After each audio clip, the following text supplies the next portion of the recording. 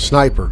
The words conjure images in our imagination soldier, lone combatant, silent killer.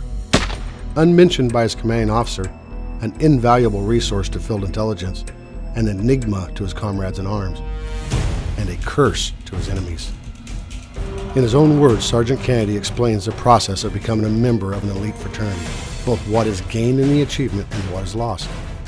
The demons, both real and unreal, that a few men of this unspoken profession face, from the training regiment to special operations in Honduras to the sands of Desert Storm.